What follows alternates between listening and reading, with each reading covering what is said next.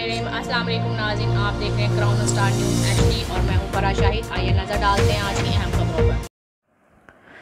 अब आपको खबर है सांघर से। हमारे रिपोर्टर मोहम्मद शबीर कायम खानी के मुताबिक इंजीनियरिंग काउंसिल के इंतबात बरए 2021 में नेशनल इंजीनियरिंग अलायंस के उम्मीदवार इंजीनियर नजीब हारून को पाकिस्तान इंजीनियरिंग काउंसिल का चेयरमैन और इंजीनियर यूसुफ कायम खानी को गवर्निंग बॉडी का रुकने मुंतखब होने पर समेत तमाम कामयाब उम्मीदवारों को दिल की अता गहराइयों से फतह मुबारक हो।